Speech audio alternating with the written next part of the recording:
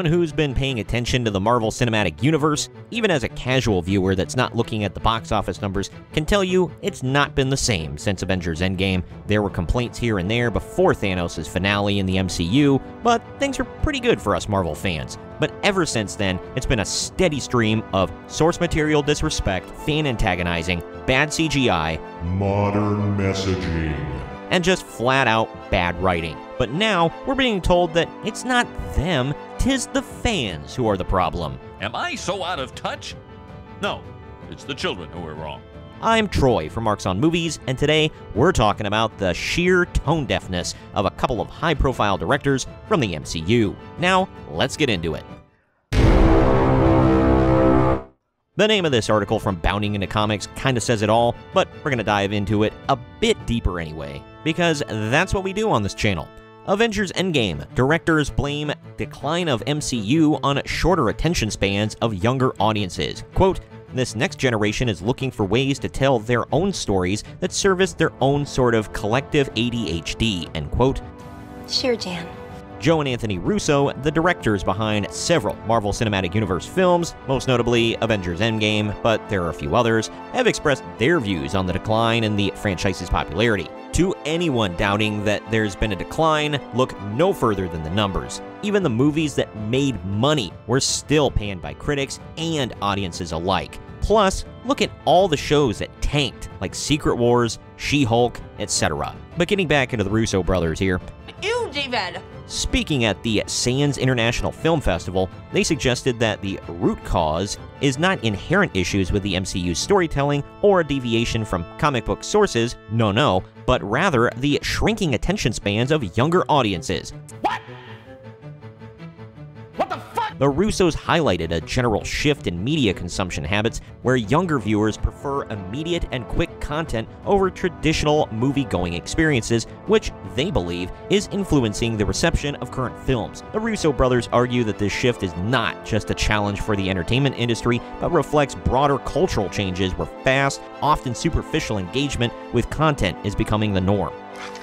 This guy. There's a bit of truth to this, but it's not the whole story. Does short form content get more eyeballs than long form content? Yep. Absolutely. Any YouTuber or TikToker can attest to that. But they're acting like well done, long films just don't do well anymore. I'd love to see their justification for the success of Oppenheimer and Dune Part 2. The Russos mentioned the global trend towards rapid consumption and communication through memes and short videos, implying that these factors are reshaping expectations and the reception of narrative formats like those used in the MCU. What? Bro, what are you talking about, man? What in the hell are they even talking about? The MCU, throughout the entire multiverse saga so far, have been quick dopamine hits, flashing lights, and quip fests. It's like CoComelon for adults. It's literally designed to keep the attention of any casual content consumer. Not saying I didn't enjoy the Russo Bros MCU films, they were probably some of the best out of the entire franchise, but do you really think that they're making Citizen Kane or Gone with the Wind? Nope. My god. But despite all these challenges, the Russo brothers say that they believe that just as the Western genre evolved over time, the superhero genre can also adapt and continue to captivate audiences. Right. The upcoming MCU film Deadpool and Wolverine is set to test this theory with its release in July. I think that a combo of Deadpool's past success, Ryan Reynolds, the hard R rating, and getting Hugh Jackman back as Wolverine one more time are all going to smash Deadpool 3 to a gigantic box office pull.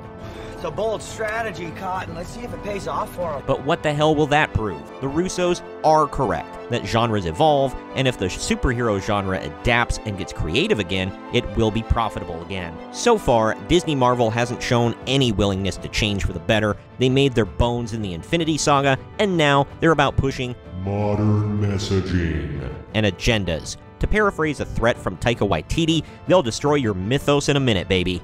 But why? Why would you do that? Why would you do any of that? and they'll do it with smiles on their faces. And when you reject it, they'll blame you and call you names. The world. I really hope the Russo brothers, Marvel, and Disney as a whole wake the hell up very soon and start delivering quality, can't miss content yet again. Snap out of it! but excuse me if my expectations are very tampered. How many times do we have to teach you this lesson, old man? Comment with your thoughts on all of this. Do you agree with the Russo brother that it's just these damn kids who are the problem? Or has Marvel simply lost the thread? Do you think Marvel's fallen off? And if so, do you think they'll rise back to prominence? Or can they? Let me know down in the comment section. As always, the links to the article I covered can be found in the video description. Also, please share this video around to everyone you know, and don't forget to like the video, subscribe to the channel, and click that little bell to be notified every time we post brand new content. I've been Troy from Marks on Movies, and we'll see you next time.